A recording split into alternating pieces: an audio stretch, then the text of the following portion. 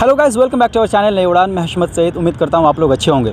आप में से बहुत सारे लोग हैं जब जाम में एडमिशन लेना चाह रहे स्पेशली स्कूल की बात कर रहा हूँ, या फिर बच्चों के साथ साथ जो पेरेंट्स हैं, जब वो अपने बच्चों को जामे भेजना चाह रहे तो आपके मन में एक सवाल आ रहा है, बच्चे जाकर रहेगा कहाँ एडमिशन के बाद में? क्या जामे में हॉस्टल फैसिलिटीज़ है या नहीं है? अगर है तो किस तरीके से हॉस्टल से मिलता है? क्या फैसिलिटीज़ है? क्या फ़ी है? वो सारी चीज़ें आज की इस वीडियो में हम डिस्कस करने की कोशिश करेंगे।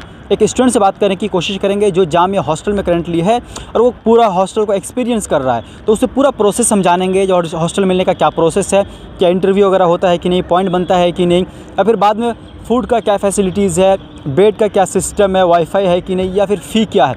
वो सारी चीज़ें हम डिस्कस करने की कोशिश करेंगे। आइए डायरेक्ट हम मिलते हैं वीडियो जामे की भी स्कूल हॉस्टल बाकी स्कूल हॉस्टल्स की तरह है। कंपेरेटिवली आप इसको ऐसा बोल सकते हैं कि थोड़ा कॉस्ट इफ़ेक्टिव है थोड़ा प्राइस कम है इसका सस्ता है। और बाकी हॉस्टल फैसिलिटीज़ जो बाकी जगह मिलते हैं ऑलमोस्ट सिमिलर ही है इधर। तो हॉस्टल सारे क्या स्कूल ग्राउंड में ही है कि बाहर? नहीं सारे के सारे जो हॉस्टल्स है वो छः हॉस्टल टोटल है हमारे पास। तो सारे स्कूल कैंपस के अंदर ही आते हैं। और हॉस्टल के अंदर मेनली आपको डाइवर्सिटी देखने को मिलेगी बच्चे कोई यूपी से कोई बिहार से कोई कश्मीर से। है हाँ वो वो काफ़ी अच्छा रहता है। हाँ, ये अच्छी चीज़ बहुत सारी चीज़ें सीखने को मिलता है हमें। अच्छा हॉस्टल मिलने का प्रोसेस क्या मैं जानना चाहूँगा आपसे? एडमिशन लेने के बाद अगर आप एलेवेंथ में एडमिशन ले रहे हो या नाइन्थ में ले रहे हो तो उसके कुछ दो से तीन महीने का गैप मिलता है जो कि वहाँ पे ये मैक्सिमम है। हम्म। ये डेढ़ दो महीने में भी हो सकता है ये मैनेजमेंट के ऊपर होता। उसके बाद आपको फॉर्म भरना होता है एंड उसके बाद आपके जो क्लास टेंथ अगर आप टेंथ में अलेवेंथ में आ रहे हो तो आपके टेंथ के मार्क्स के बेस देखा जाएगा ठीक है? और कुछ वेटेज वहाँ पे होता है almost around forty to fifty percent आपका वेटेज मार्क्स पे होता है टेंथ का मार्क्स। उसके बाद आपकी इनकम के ऊपर होता आपकी आपकी फैमिली इनकम कम है तो आपको मार्क्स ये कुछ पॉइंट्स होते हैं हंड्रेड पॉइंट्स होता है और उसमें से होता है ये। इनकम होता डिस्टेंस होता और उसके बाद जो सबसे मेन फ़ेज़ स्टार्ट होता है डैट इज़ इंटरव्यू राउंड मैं इंटरव्यू राउंड आने से पहले अपने का टेंथ का मार्क्स देखा जाता। है कोई नाइन्थ के लिए आ रहा है तो उसका क्या एट्थ का देखा जाएगा? एट का देखा जाएगा बट वहाँ पर ऐसा होता है कि अगर आपने दिया है तो वो स्कूल एफिलिएटेड होना चाहिए। अगर वो स्कूल एफिलिएटेड नहीं है तो आपका जो है ये इंटरव्यू में जो थोड़ा मार्क्स ऊपर नीचे किया जाएगा इस तरह की चीज़ें हो जाती हैं। बिकॉज़ ये काफ़ी नॉर्मल हो जाता है ना कि आप नाइन्थ में आ रहे हो तो एट में बनवाना थोड़ा आपको भी पता वो इजी होता है। अच्छा डिस्टेंस जहाँ तक बात रही तो मतलब मिनिमम डिस्टेंस क्या होना चाहिए? मैक्सिमम का तो कुछ है ही नहीं मिनिमम कितना होना चाहिए?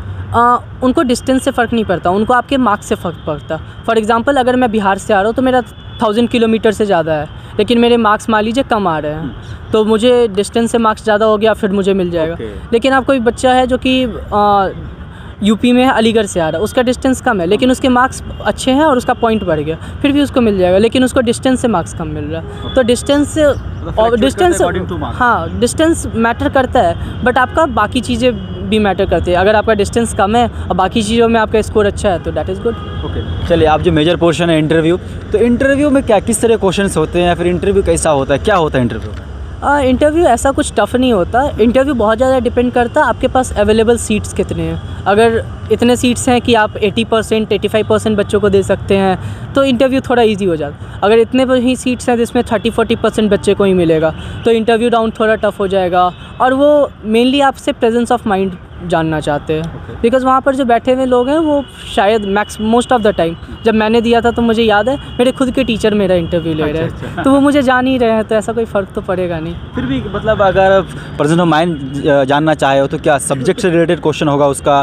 फाइनेंशियल कंडीशन से रिलेटेड क्वेश्चन होगा या फिर मतलब जनरल क्वेश्चन हो सकता है। क्या किस तरह क्वेश्चन आप किससे कुछ कंडीशंस बेस्ड क्वेश्चन कर सकते हैं कि आ, फॉर एग्ज़ाम्पल जैसे यूपीएससी में कैसे हो तो बहुत जूनियर लेवल पे आप यूपीएससी समझ सकते हैं इसको। जैसे मुझे याद है ना मुझसे जब क्वेश्चन किया गया था तो मुझसे क्वेश्चन किया गया था कि जो इकोनॉमिक सिचुएशन है इंडिया की उसको आप इम्प्रूव कैसे कर सकते उन्हें भी पता है कि मैं अलेवंथ में हूँ मैं कितना बेटर जानूँ बट उनको जानना क्या कि मेरा आइडिया क्या है? तो मेन वो उस पर देखते हैं कि आपको बोलने आ रहा है आप कॉन्फिडेंट हो।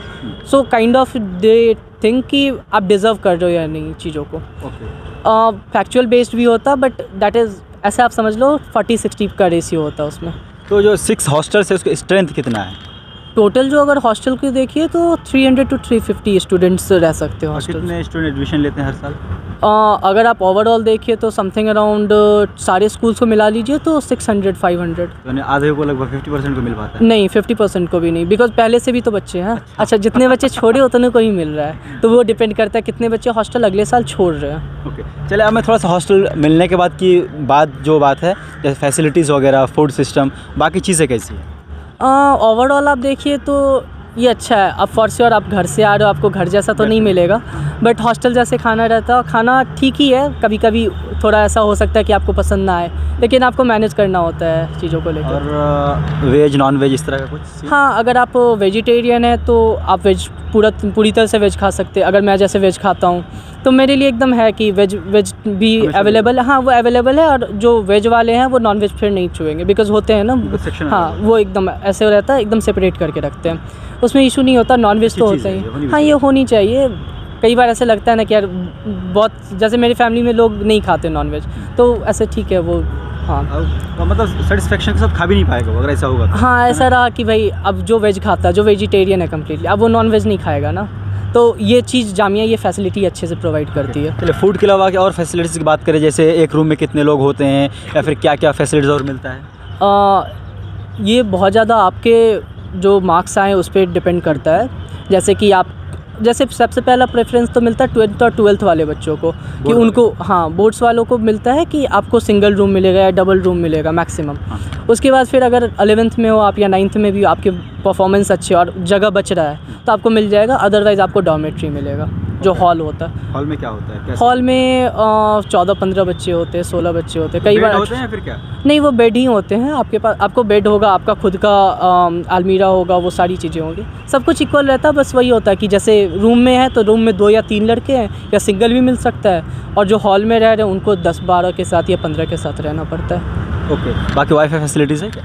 नहीं वाईफाई हमें नहीं मिलता। स्पोर्ट वगैरह कुछ? हाँ स्पोर्ट्स है और लेकिन ये थोड़ा कम है। आपके पास कैंपस है अगर आपके पास खुद के इक्विपमेंट्स है फिर आप खेल खेल सकते हो। अदरवाइज़ आपको स्कू- जो स्कूल प्रोवाइड करती है हॉस्टल प्रोवाइड कर वो ईयर में कुछ पंद्रह बीस दिन या पच्चीस दिन के लिए होता है जो कि हमारा स्पोर्ट्स मंथ एक तरह से चलता है उसमें। फ़ीस सबसे बड़ी चीज़? आ, फ़ीस भी सही है। अगर आप ऐसे देखिए तो अभी थोड़ा सा इंक्रीमेंट आया है रिसेंटली तो इसमें हमारा एनुअल अगर आप ओवरऑल देखिए फोर्टी थाउज़ेंड पड़ जाता which is still okay because four thousand per month हाँ इंक्लूडिंग ऑल थिंग्स फ़ूड से लेके आपके रहने तक का सब कुछ। सब कुछ। ये forty forty two thousand that is maximum तो मतलब ये अफोर्डेबल है? हाँ ये अफोर्डेबल है क्योंकि आप बाहर पीजी सब में रहते हो तो सेवन एट थाउज़ेंड ये तो बहुत कम वाला होता है। हाँ तो उसके अकॉर्डिंग देखिए तो बेटर है। फोर्टी थाउज़ेंड क्या मतलब एक ही बार में पे करना होता है या फिर इंस्टॉलमेंट सेक्शन ये इंस्टॉलमेंट दो इंस्टॉलमेंट में आपको पे करना होता है। ओके तो ओवरऑल हॉस्टल अगर कोई लेना चाहे तो अच्छी चीज़ है बस हाँ थोड़ा सा टेंथ में आपका अच्छा मार्क्स होना चाहिए लाइक ताकि अच्छा कर सकते हैं ना। Thank you so much Ishan इतनी सारी हम जानकारी देने के लिए। बाकी उम्मीद करूँगा जो हॉस्टल्स में आएँगे वो आपसे ज़रूर मिलेंगे। थैंक यू सो मच और मैं भी उनका वेट कर रहा हूँ।